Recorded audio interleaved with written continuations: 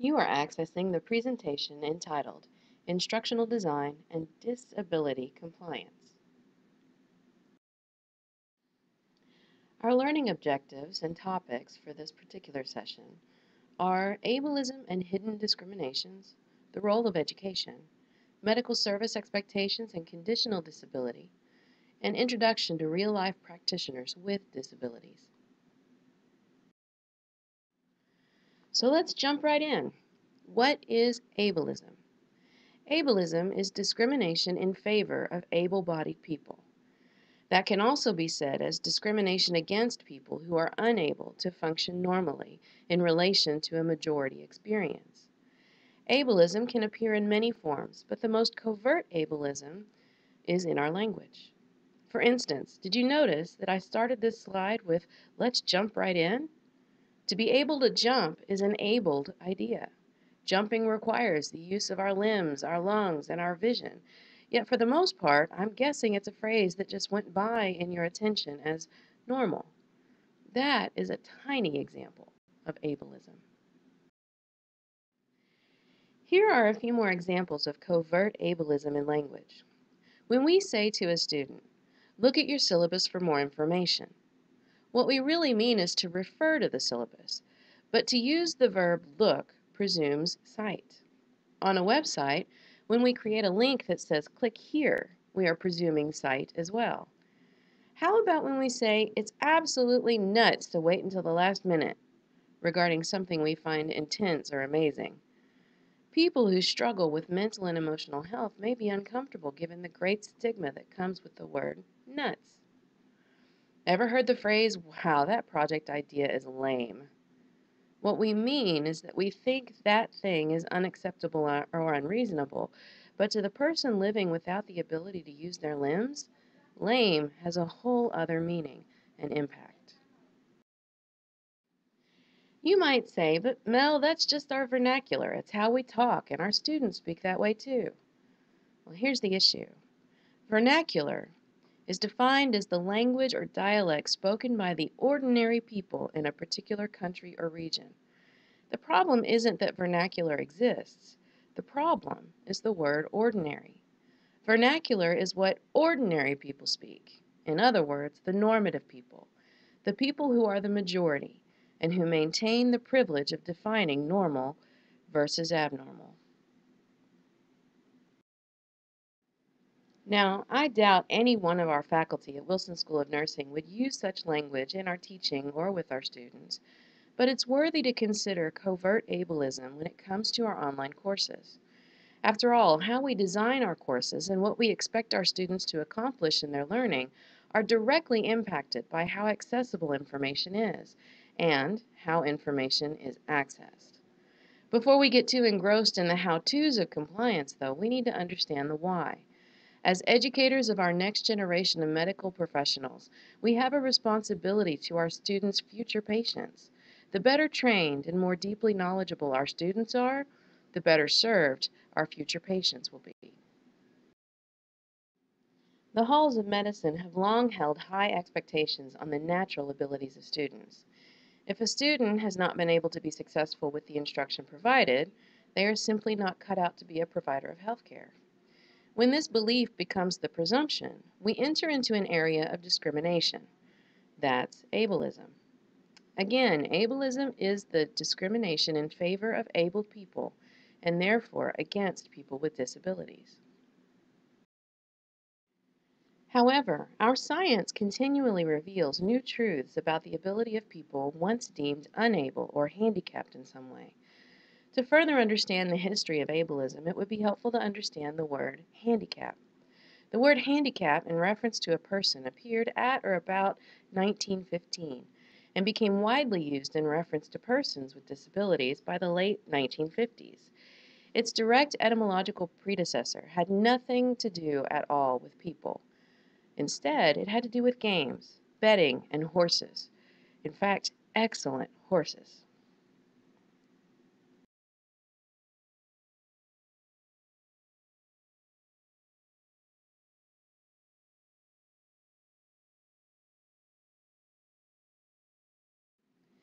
Imagine you have bet on a horse race, But the two horses racing are significantly different. One is larger and visibly stronger, while the other is smaller and presumably weaker. Which do you think was considered handicapped? Not the weaker. In fact, to handicap a horse was to add an extra burden to the stronger, so as to make the race more equal. A handicap, therefore, was given to the strong so as to not overwhelmingly excel beyond the weak. If you know someone who lives with a difference in abilities, you likely have experienced this sense of an extra burden. You may even have experienced the sense of hope that they can actually excel in spite of that burden. If you are especially fortunate, you've witnessed that excelling, or you've done it yourself. If someone were to attend a course of undergraduate or graduate study with some level of disability, it would be worth our while to recognize that they have already excelled. What better way to honor their excelling than to ensure that we have done everything we can possibly do to facilitate their continued success? Of course, there are some realities we know about serving in a medical profession that would make it all but impossible for people with some kinds of disabilities to thrive. However, as faculty, you are in the business of educating whomever comes to be educated. What students do with their education is out of our control. Education does not necessitate a profession. Education creates knowledgeable people who, within their own range of ability and desire, may educate and serve others in whatever ways possible. Still, schools of medicine continue to struggle with accepting and empowering students with disabilities. According to the University of Michigan Health System, quote, only a third of medical schools said outright that they would accommodate a student with a disability who otherwise qualified to attend. Another half had vague information about who they would accept. A national study concluded, quote, most medical school technical standards do not support provision of reasonable accommodations for students with disabilities as intended by the ADA. Further study is needed to understand how schools operationalize TSs and barriers to achieving ADA standards. It's also worthy for us to consider that the most striking of disabilities are not usually the ones that faculty of higher education and nursing encounter. The person enduring paraplegia, for instance, would not be able to complete clinicals, and therefore could not meet the demands of study in that course. Still, they may be able to complete research, theory, and study in areas that do not require the use of their limbs. Consider the story of these physicians overcoming their disabilities to make a difference for their patients.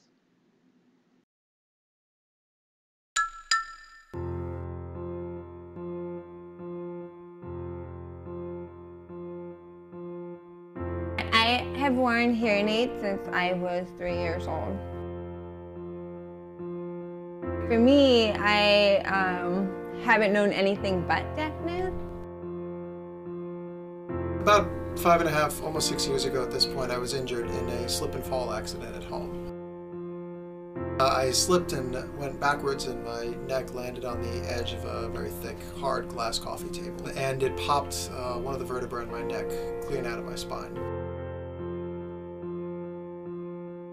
At age eight, I went on a trip to Texas and Mexico with my father. The first evening that we were there, uh, when we came back to the home of the people with whom we were staying, I couldn't find the door. So I spent a lot of time not knowing I was legally blind. I think the more people see someone in my role, the more comfortable they'll be with it and understand like, oh yeah, I guess that is possible after all. My parents were both in the medical field, but they could not imagine that with this condition where I would likely become blind later in life, that I would be a physician, and frankly, neither could I. I talked to the doctors who were in my rehab, and he told me, you know, absolutely, you still can, you can still be a doctor. And I thought, okay, well, I can be a doctor, I can't be a surgeon. That's what I always wanted to do. Until I talked to a friend's wife who was a surgery resident who said, yeah, you can still, why not? You'll find a way to make it happen. And that's really the first question someone should be asked is not just what can't you do, but what do you do? I love being in this kind of position because there are not enough deaf doctors or doctors with disabilities out there. Well, the first thing I tell any of those, any of the people who are interested in pursuing medicine or some other, you know, significant task after having a disability is don't listen to the people who tell you you can't do it. Working on the words is challenging, especially using the telephone and trying to present to somebody like who talks really, really fast and doesn't have a whole lot of patience. How do you do medicine when you're blind? Well, you know, you've got computer equipment, you've got a cane to go around, you've got uh, uh, all sorts of technology that's around now. So I think that's very, very important because between technology and personal uh, help, uh, there's an awful lot that can be done uh, by people who have very significant limitations. The interpreters here are very open people and are very easy to connect with. And they're all very wonderful individuals and I'm, I'm very proud to work with them. I remember the first time I went into an operating room as a medical student. It, I was very, I don't want to say apprehensive, but it was it was a nervous time because it was the first moment I'd be standing at the operating room table using the adaptive wheelchair. And it was just unbelievable. The first case, I didn't really do a whole lot, but I remember just the excitement at standing at the table with everybody else, you know, doing what I'd wanted to do ever since I was a kid. Patients didn't and still haven't made a big deal about it at all. Uh, it's perfectly possible for a patient to have absolutely no idea that they can't see anything. I think the big advantage to being, you know, having a disability that's especially one that's visible is that I can use it to connect with patients. Um, you know, they see it and they'll know that I've been in the bed before, I've been through procedures, I can tell them I know what it's like to go through this. There was one patient in my entire time that I've been working here who didn't want to have me treat her. And she didn't say it to me. My secretaries were so mad. They said, oh, we're going to give her the meanest doctor in the place so that she should feel sorry. I really want to encourage other medical schools to include disabled students in their diversity. Um, there really isn't any reason why disabled students should not be allowed into medical school. One of the things that's important to me is that other people have the same experience I did. If they've been through an, and you know, some traumatic injury like this, if I can show them, hey, I'm doing it too, then so can you.